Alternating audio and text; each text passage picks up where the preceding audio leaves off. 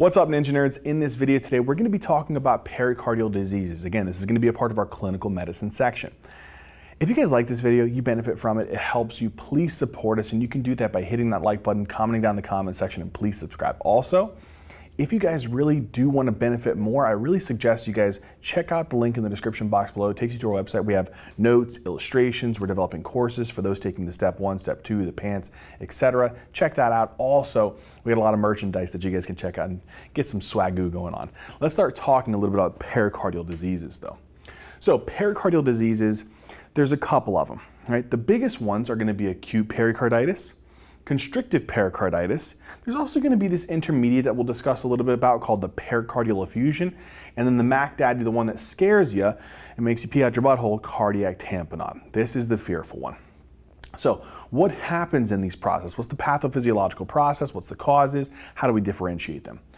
So here we have a heart, right? And we have this normal pericardium, which is in pink. This is usually a double layer if we go back to our anatomy, right? You have the visceral layer, and then you have the parietal layer, and then you have the pericardial cavity, which is filled with serous fluid in between.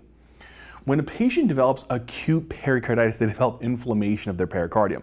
That's the underlying process, right? So there's some type of inflammation that is actually occurring here that's causing the pericardium to become angry. And we'll talk about what those causes are in just a second, but there's definitely inflammation which is going to be stimulating or triggering the formation of acute pericarditis. Now let's just say here that I got an angry pericardium, right? So this pericardium is super, super angry. You want to think now, what will cause this guy to become super angry? And oftentimes, generally it's idiopathic, and what that means is we don't really know why it occurs. But the ones that we kind of generally assume is that it's oftentimes what's triggering this is usually infectious. And what do I mean by that? So infectious, there's two different types of infections that I want you guys to think about. One is viral. And oftentimes this is Coxsackie B virus. All right, so that's one. And then sometimes in certain patients who are immunocompromised or where it's very high populations, where endemic populations, tuberculosis can be another infection that can really plague the pericardium. The other one is post-MI. If you guys remember, if a patient has an NSTEMI or a STEMI, we said that that can create a local inflammation and agitate the pericardium. And if it's like one to three days, it's called fibrinous pericarditis. And if it's 14 days or more after they had an MI, that's Dressler syndrome. Another one, really, really big one, is uremia. So uremia is a really, really big one. This is when a patient has usually some type of underlying chronic kidney disease or a terrible AKI. So look for this in a patient who has like CKD or an acute kidney injury. And what happens is their BUN and their creatinine are really, really high, and that can cause uremic pericarditis, one of the complications. All right, so look for a patient who's had any features of infections like a low-grade fever, look for a patient who's had a, just had an MI, and look for any underlying kidney disease. The other one that I want you guys to think about is usually radiation therapy. So if they have cancer and they've had some type of radiation therapy to the chest, that's another particular trigger because that's going to injure the pericardium. The last one is usually someone who's had cardiac surgery. So a post-operative pericarditis. This is pretty common, especially if someone's having a CABG, they're having open heart surgery for any reason. We also call this called post-pericardiotomy syndrome. So these are big things that'll cause inflammation all of these things right here, my friends, will lead to inflammation. And that'll cause this pericardium to become inflamed and angry. Now, whenever the pericardium becomes inflamed, generally it'll precipitate a chest pain. And I'd say that this is by far, for acute pericarditis, the hallmark feature. When this becomes super inflamed, it produces what's called a pleuritic chest pain. So it produces what's called a pleuritic chest pain. What does that mean? All right, imagine you take a breath in. When you take a breath in, your lungs expand and press on what's next to the lungs? The heart. What surrounds the heart? The pericardium. So when you take a breath in and they expand, they push on the pericardium and it precipitates pain. The other thing is that this pleuritic chest pain is positional. So I want you to think about this. It's a pleuritic chest pain that is positional. What does this mean? All right. What this means is when you have a patient lay flat, what happens is their diaphragm pokes upwards into their actual thoracic cavity. And what's right there just above the diaphragm? The heart. And what surrounds the heart? The pericardium. So when patients are laying supine, it's worse. And when patients are actually leaning forward, what happens is it brings the diaphragm down and that puts less pressure and offloads the pericardium. So what I want you to understand with positional is it's worse supine and better leaning forward. This is pretty high yield and, and high yield and very, very common on patients who have pericarditis. All right, so that's high yield stuff there. Now, we know these are the triggers for a patient developing acute pericarditis. You know what else is a very interesting thing? When the pericardium becomes inflamed, sometimes what it'll do is it'll cause these like these cells, the visceral and parietal epithelial cells, to start secreting some fluid and it can start secreting fluid and fluid and can accumulate in this pericardial cavity and get a little bit bigger. Normally we have a little bit, but if you start accumulating a lot, look what can start happening. Now fluid is really, really accumulating inside of this pericardial cavity. This is now, whenever it gets more than the upper limit of normal, it's called a pericardial effusion. So whenever there is an increase in serous fluid production, usually precipitated by what? inflammation of the pericardium, this will stimulate a pericardial effusion. So acute pericarditis can lead to a pericardial effusion because you inflame the pericardium, causing it to make more serous fluid. What else can the acute pericarditis do? It can potentially progress. And let's say that you have a patient who has repeated, repeated inflammation. So I'm talking repeated bouts of inflammation. So I'll put repeated inflammation. What's out of the ones up there on the top for causes? What are those particular causes which, if consistently keeps happening, can cause constrictive pericarditis? Think about it. Would it be infectious? It could be if they have TB. TB is a definite one because it's a chronic disease. What about post-MI? No. What about uremia? Not really. What about radiation therapy? 100%. Tuberculosis and radiation therapy happen to be the most common causes of repeated inflammation, which can then cause this angry pericardium to become fibrotic. So now it's going to be replaced with all this fibrous tissue. Look at this. I'm going to put all this here in black. This is all going to be fibrous tissue. And now imagine having this big rock hard fibrous tissue covering the heart. Now this dang heart can't expand. Now, what happens is normally the pericardium should let the heart kind of stretch a little bit. But whenever the pericardium is very, very fibrotic, so you're going to have a fibrotic pericardium, the problem with this is that this actually is going to be making it hard for the ventricles to fill. And what that does is that actually will lead to a reduction in ventricular filling. And that is one of the big pathophysiological processes that occur in constrictive pericarditis. You get a fibrotic pericardium, and this will then inhibit the ventricular filling process. Because look, it's making it hard. This, this heart has to stretch, but it can't because this pericardium is super hard and fibrotic and not allowing it to stretch. So this process right here, my friends, is going to be inhibited. You can't allow that to occur. And that's the big concept that I want you to understand here. That's for constrictive pericarditis. Okay, so so far we have a pericardium that's become inflamed. If it becomes inflamed, it can cause this classic chest pain. It also can cause serous fluid to accumulate, which can become a pericardial effusion. And if you repeatedly inflame the pericardium, becomes fibrotic and reduces ventricular filling, constricted pericarditis. We now know the differences between each one of these, but all of these are caused by the same thing. We come to another scenario. Let's say a patient has pericarditis. They develop a pericardial effusion. And the pericardial effusion continues to grow. So you develop a growing effusion. So this thing continues to grow, nice and slow. And as this starts to happen, and you grow this effusion, what happens is normally your pericardium gets time to stretch. And so if it's a very slow growing effusion, it has time to stretch and accommodate that. But whenever it grows enough that it gets to the point where the pericardial stretch limit has been reached, then what it does is it starts to squeeze on the heart. And squeeze the heart and prevent it from being able to fill. Now look, it's squeezing it like constrictive pericarditis is. And so now this filling process, which is supposed to occur here, is being impaired. That's being inhibited. That's one very important concept. So whenever you have a pericardial effusion that's becoming tamponade, here's what I want you to remember. Let's say here we have this graph. Here we're going to say this is the stretch limit. Whenever you reach this point and you go above it, the pressure inside of the pericardium is high, you squeeze the heart. We're going to use this blue arrow here, where this person is accumulating volume slowly, slowly, slowly, slowly, slowly. They finally hit the stretch limit and boom. They pass the stretch limit and now the pressure in the pericardium is high enough that it causes cardiac tamponade. So this is when you have a slow effusion.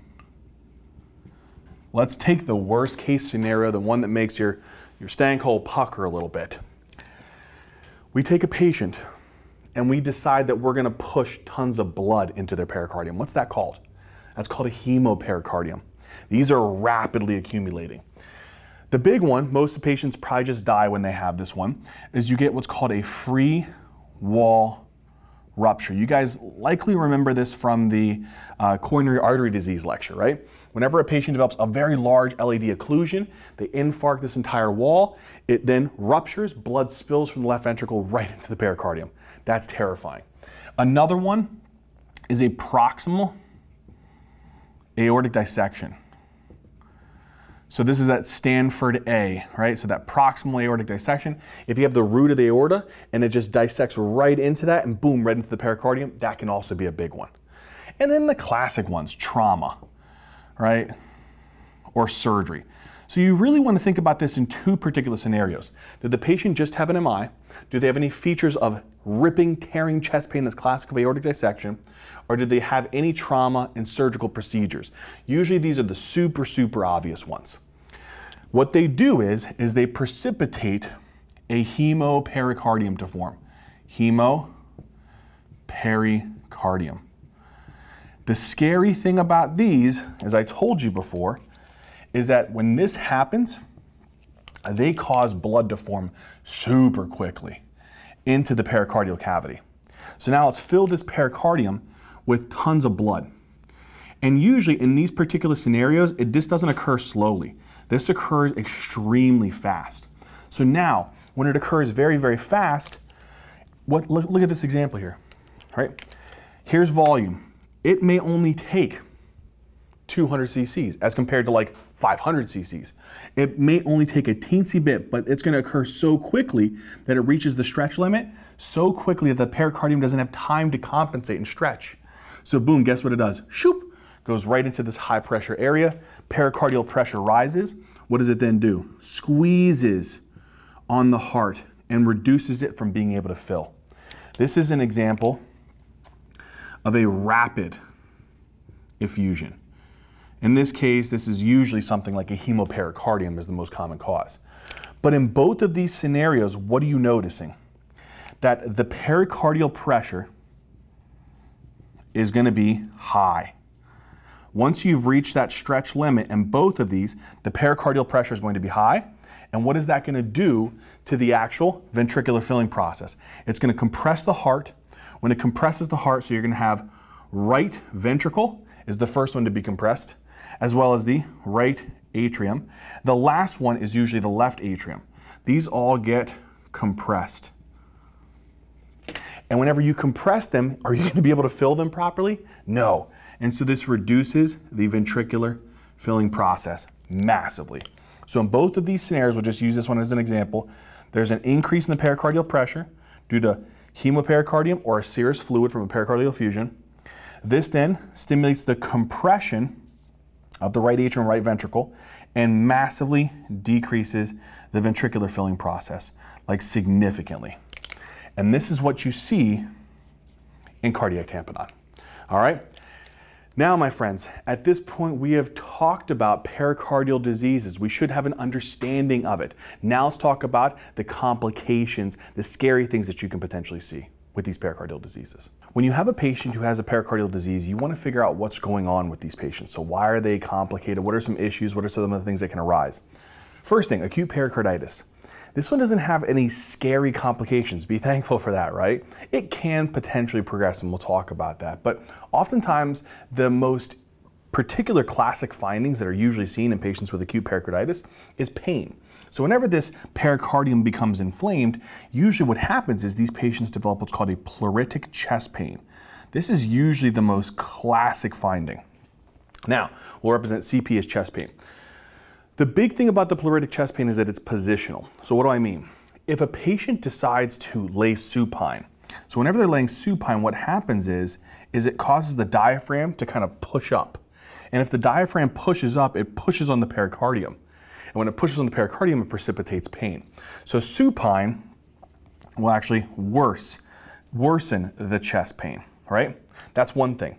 Whenever they're sitting or they're leaning forward particularly, what it does is it brings the diaphragm down, offloads the pressure on the pericardium.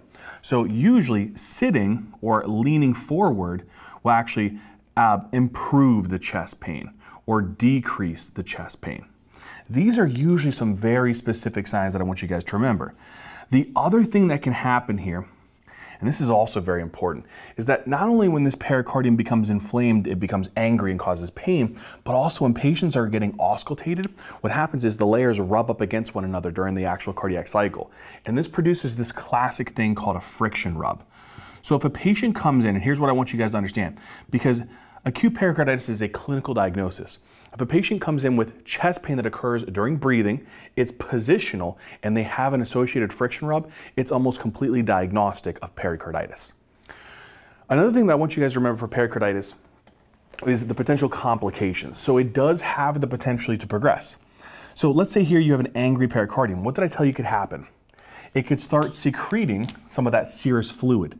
And the serous fluid could potentially accumulate, accumulate, accumulate in the actual pericardium. And if it does, what is this called?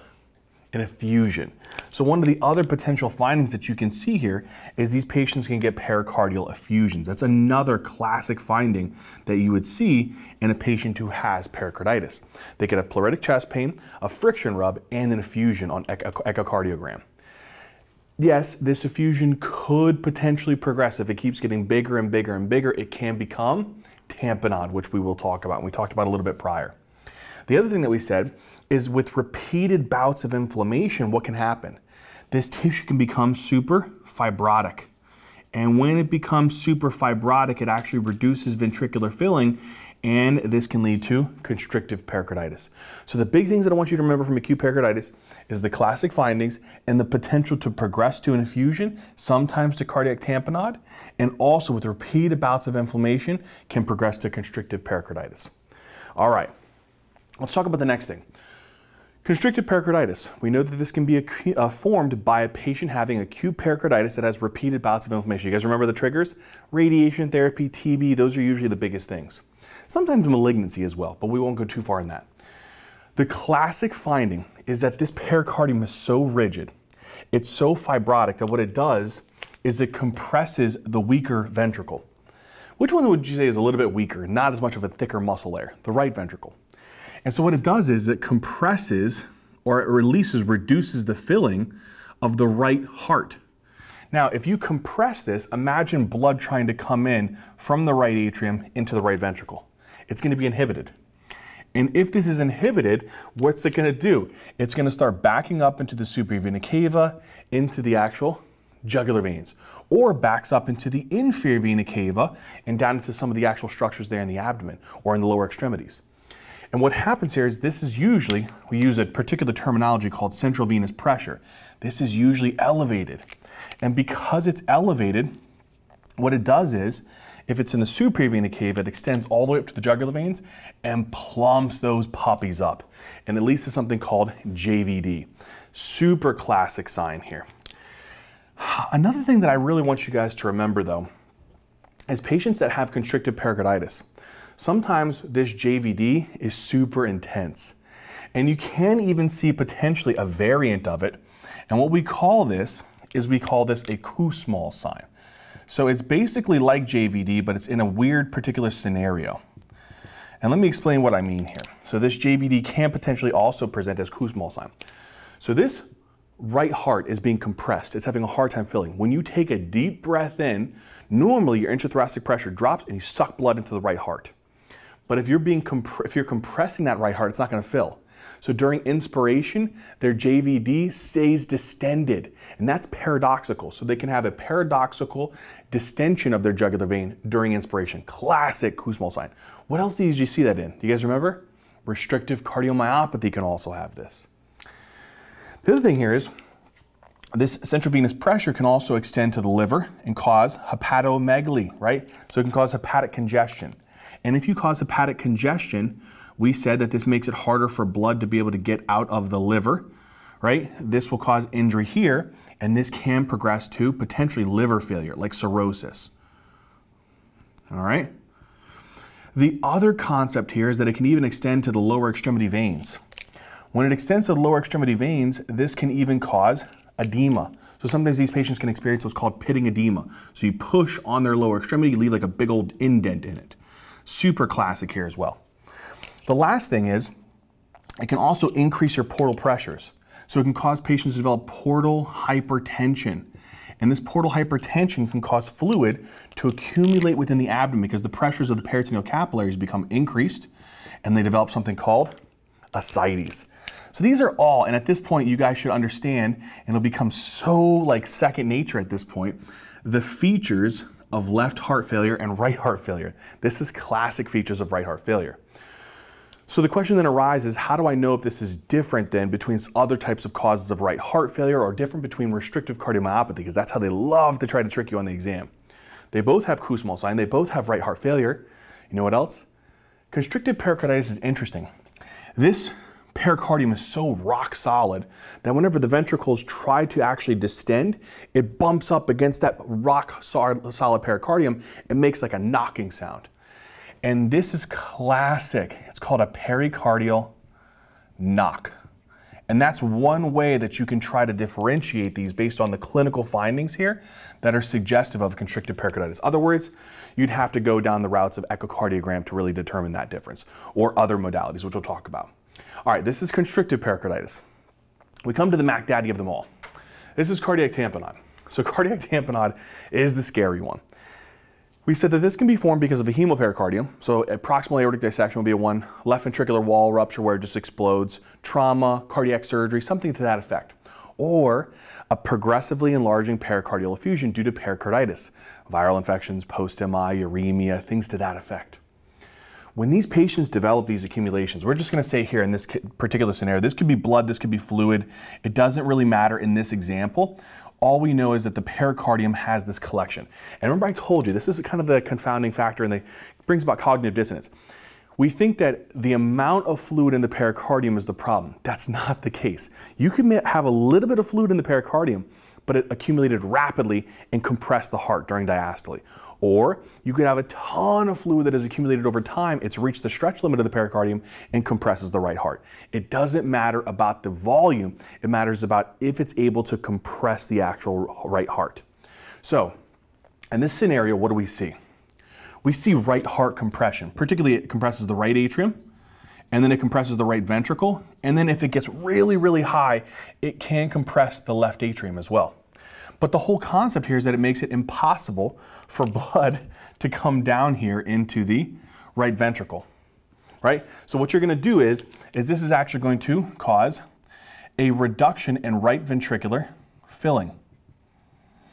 All right. Then if you reduce the right ventricular filling, another thing that also happens here is that your right ventricular pressure is going to rise so much that it's also going to shift the septum.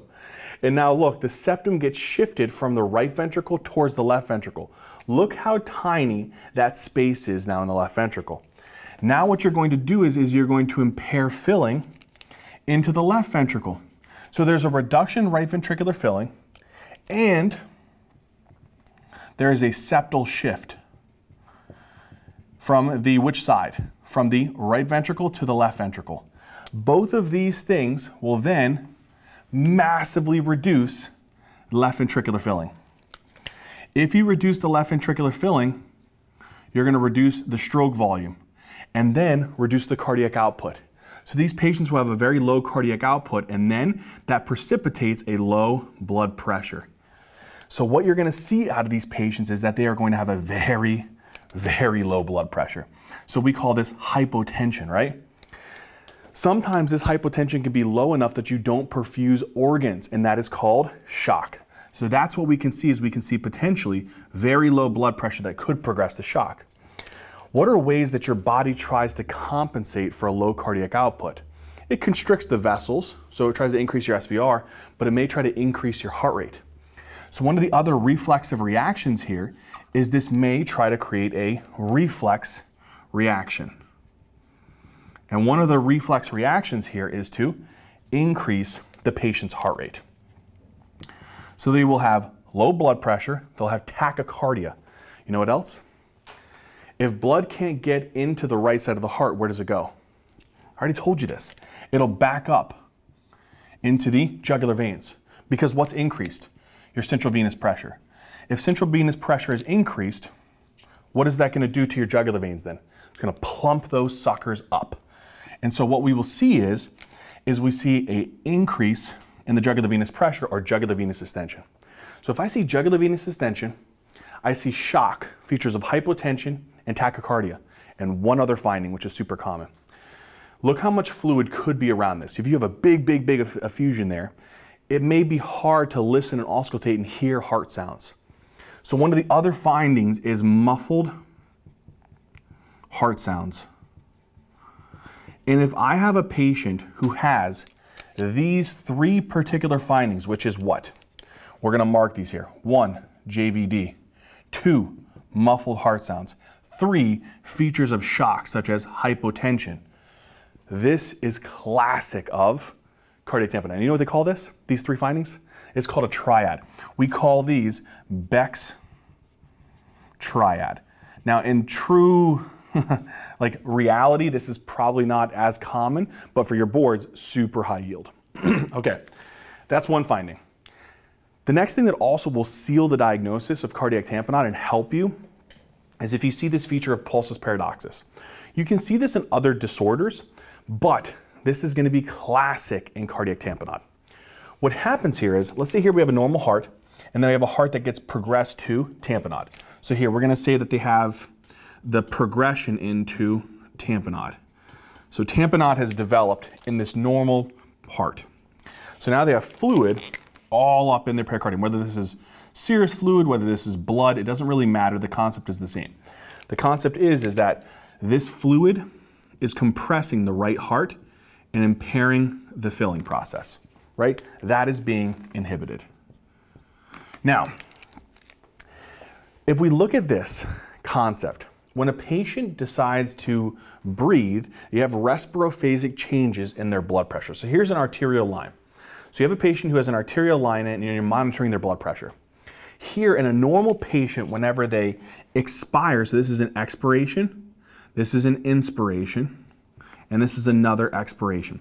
What do you notice? You notice a small little decrease in their systolic blood pressure during inspiration, a tiny little change it should generally be less than 10 millimeter mercury decrease in systolic blood pressure during, I'm gonna abbreviate this, inspiration. That's normal, okay? So this would be a normal scenario. In tamponade, however, what do you notice?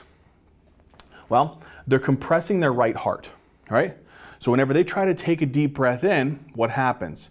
They're trying to suck blood into the right heart, but they have a reduced filling. And on top of that, not only do they have reduced right ventricular filling, but what did I say happens to the septum? It shifts. So now you shift their septum and reduce left ventricular filling. so they're supposed to be getting blood into their heart during inspiration, but are they getting blood into their heart during inspiration? No, not enough. And so whenever they go through systole and try to push blood out, they don't push out enough so their systolic blood pressure drops. So in this scenario, you see expiration, you see inspiration, and again, you see expiration. What do you notice the differences between here?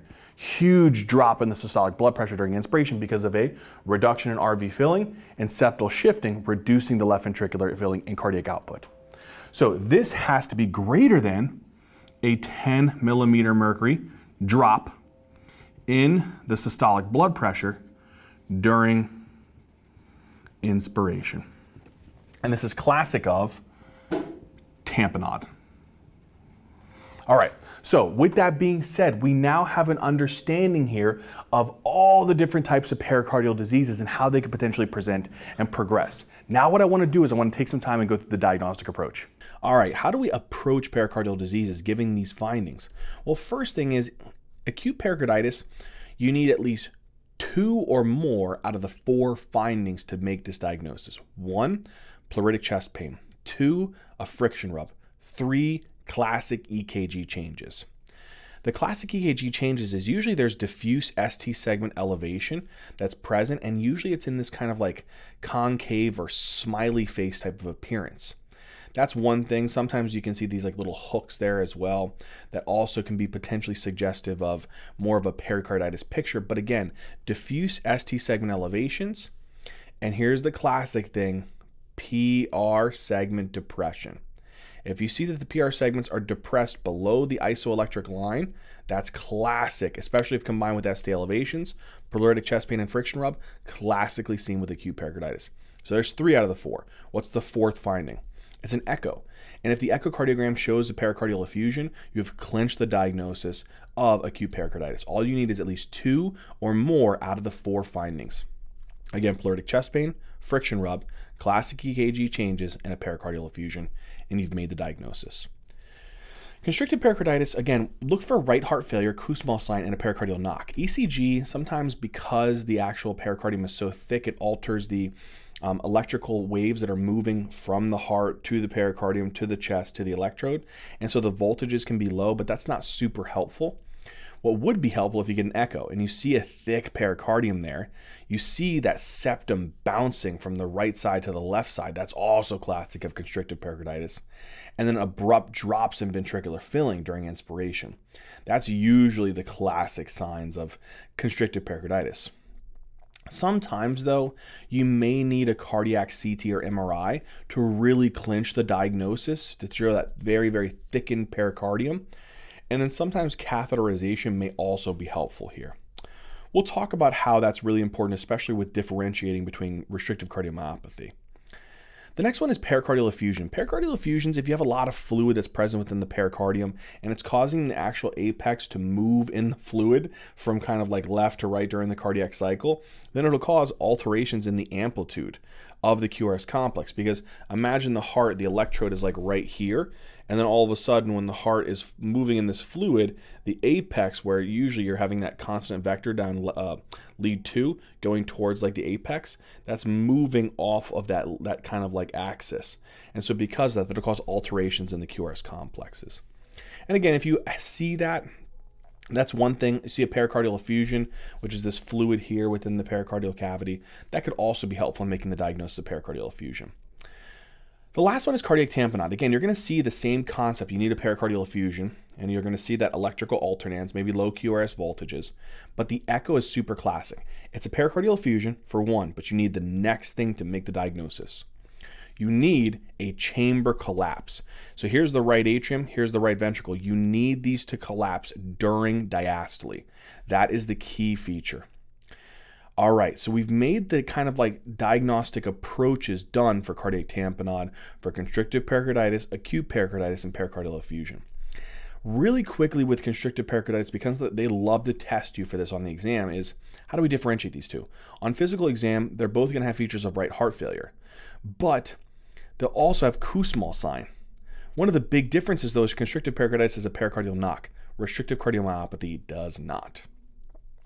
Echocardiogram, you'll have a thick pericardium. You'll have a septal bounce. You'll have an abrupt drop in ventricular filling. Restrictive, you're going to have biatrial enlargement and diastolic dysfunction. For the cardiac CT or MRI, you'll see a thick pericardium. For restrictive cardiomyopathy, it's a normal pericardium. And then a cardiac cath, what happens is in constrictive pericarditis, the septum, interventricular septum is healthy. So it'll bounce from left to right, left to right, which will cause discordance of the ventricular pressures, the end diastolic pressures in the left and right ventricle. Whereas restrictive cardiomyopathy, the septum is stiff, rigid, it's filled with infiltrates, and it will not move. And therefore, there will not be this discordance of end diastolic pressures that occur. All right, how do we treat pericardial diseases? Well, first thing is if it's acute, it's all about the pain. Really, that's the big thing that you're trying to treat. But treat the underlying cause. So one of the big things is most common cause of acute pericarditis is viral, so Coxsackie-B virus. So NSAIDs will help to reduce the inflammation there, and colchicine will help to, again, help to have a little bit of a prevention as well. Aspirin and colchicine would be the best if the cause is due to post-MI. And here's the biggest thing, and they can really trip you up with this on the exam. Uremia, it's not doing any of these, it's dialyzing these patients, whether it's starting them on dialysis or giving them more frequent dialysis sessions. That is super helpful. And again, treating acute pericarditis. Because if it's uremia, these above measures won't help you. It's dialyzing them because the uremia is causing these complications. Constrictive pericarditis, again, with this one, it's usually a pericardiectomy. So the pericardium is so fibrotic, rigid, there's nothing that you can really do. You can try to treat the underlying causes from preventing the, the progression, but you got to cut out that disease pericardium. Pericardial effusion, you don't really do anything. It's just observation. Maybe get a, a serial kind of transthoracic ultras, uh, echocardiogram in a couple months. And then again, if it's continuing to get bigger or you've figured out the underlying cause, again, then you can try and treat those. But if it does not improve, sometimes you can do a pericardial window. I would say this is for recurrent effusions that are usually neoplastic in origin. So there's some type of neoplasia that's usually causing this and they're designed to use the pericardial window so that the pericardial fluid doesn't collect, collect, collect, collect, and cause the patient to go into cardiac tamponade. But if the patient does develop tamponade, what is the treatment? It's always stabilizing the hemodynamics because this can cause the patient to go into obstructive shock. So give them IV fluids, start them on vasopressors if need be, but the best thing that you can do for these patients is if it is, again, if it, even if it is, it says here non-hemopericardium, even if it is a hemopericardium, regardless, you want to try to do a pericardiocentesis, pull the fluid off. Because what you're going to do is you're going to help to make the diagnosis because if the blood pressure improves and they come out of the shock state, again, you've made the diagnosis, oh, it's cardiac tamponade. Plus, on top of that, you've treated them therapeutically. Um, if the patient does have a hemopericardium, you can still do a pericardiocentesis, but it's not going to be enough because it'll likely reaccumulate. And that's where this next step comes in.